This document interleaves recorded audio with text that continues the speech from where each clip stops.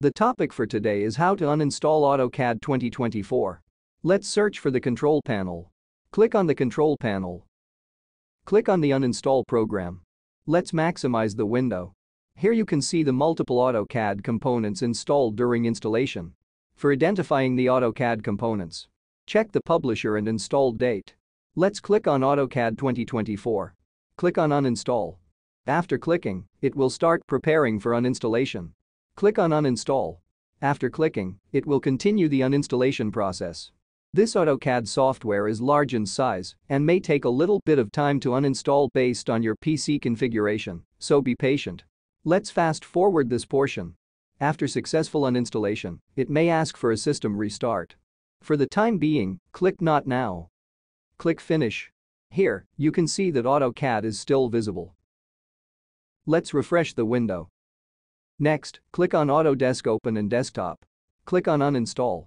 After clicking, a confirmation window will appear. Click Yes. Next, click on Autodesk Save to Web and Mobile. Click on Uninstall. After clicking, a confirmation window will appear. Click Yes. Next, click on the Autodesk App Manager. Click on Uninstall. After clicking, a confirmation window will appear. Click Yes. Next, click on Autodesk Genuine Service. Click on Uninstall. After clicking, a confirmation window will appear. Click Yes. After clicking, it will start an uninstallation process.